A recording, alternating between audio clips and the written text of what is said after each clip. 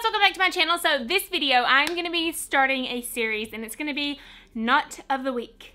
And so what I'm basically going to be doing is showing you a different type of knot each week that you can use in macrame. And that doesn't necessarily mean that you can use it in a like a wall hanging piece.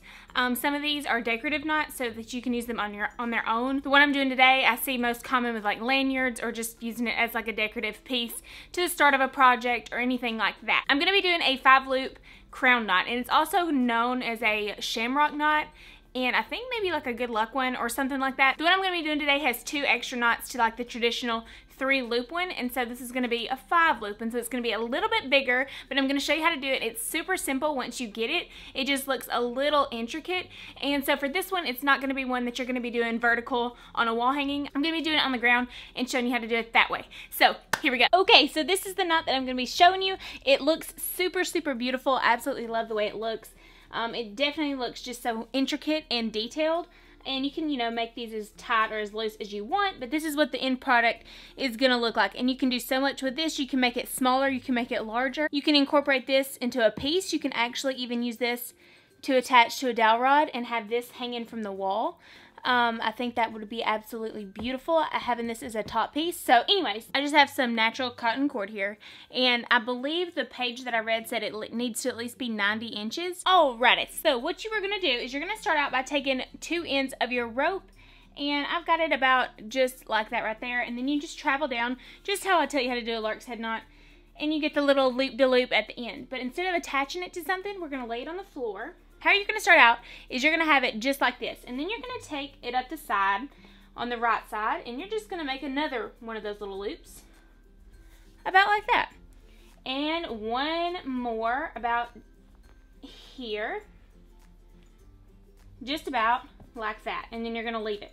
And you're going to repeat it on the other side.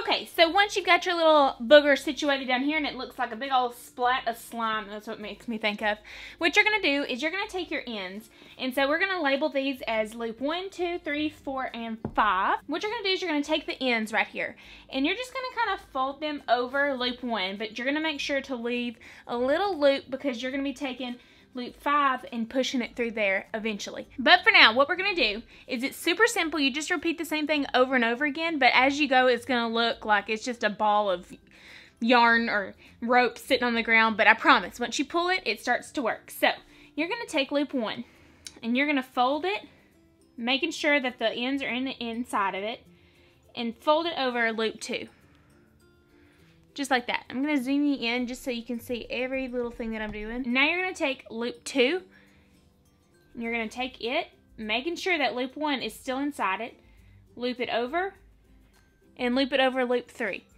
So it's going to look something like that. And now you're going to take loop three, making sure that this loop two is still inside it, and loop it over it, and over loop four, just like that. So you can see how these ropes are starting to lean, just like that.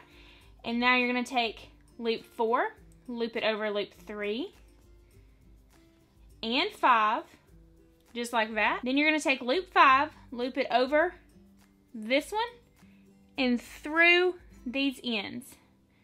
Just like that. Until it literally looks like a pile of rope sitting there. But now what you're going to do is you're going to kind of gently tug these loops. And by doing so, the knot is going to form. So I'm going to take the ends right here and tug on those a little. Pull those. So you can see the knot already beginning to form.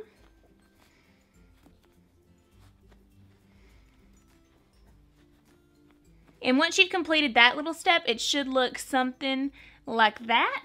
And now what you're going to do, instead of doing it like this, we're going to flip it this way. So the top point of the rope is going to be facing you. And now we're going to take the ends and flip them over this rope. So we're going to be going in an opposite direction. But we essentially do the same exact thing. So we take this rope, fold it over, take this rope, fold it over, And see, this is where these ropes are going to get a little short, so you're going to kind of have to hold it as you go. You just keep taking that one that you folded over and keep folding it over. And that last one you're going to fold over and go through that loop again, just like so. And then I'm just going to pull those strings tight. Pull it tight, tight. And you can see the little loops. You don't want to lose the loops, so be sure to just keep tugging on them. There should be, when you're looking at it, just like this, there should be a little rope here, one here, one here, and in between each of those. And you're going to kind of loosen those up. It's going to take a little bit of it's going to take a little bit of work just because you've pulled these so tight, but you can just kind of loosen them up. Just start pulling one at a time.